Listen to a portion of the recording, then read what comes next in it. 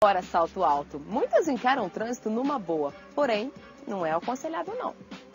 Escarpãs, sandálias e plataformas são permitidos por lei, mas podem agarrar no assoalho ou nos pedais. Dirigir descalço também pode.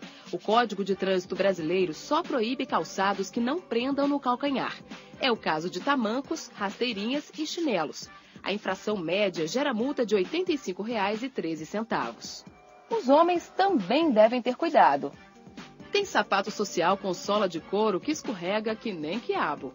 Uma boa saída para evitar todo tipo de problema é deixar o sapato ideal, um baixinho ou um tênis, por exemplo, sempre dentro do carro e fazer a troca na hora de dirigir.